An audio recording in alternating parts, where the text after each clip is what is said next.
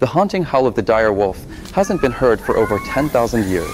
Until now, in a secret location in the US, three genetically engineered dire wolves, Romulus, Remus, and Khaleesi, are alive, howling, and thriving. Created by Colossal Biosciences, these creatures were brought back using ancient DNA extracted from fossils as old as 72,000 years. Scientists identified the core traits that made dire wolves unique, their size, coat color, and that primal howl, and reprogrammed modern gray wolf cells to match them. Then, the cells were implanted into large dog surrogates.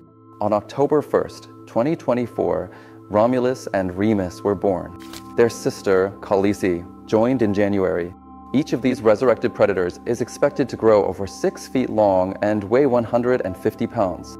But don't worry, they're not being released into the wild. They'll live out their lives in a 2,000 acre protected reserve under 24 7 care.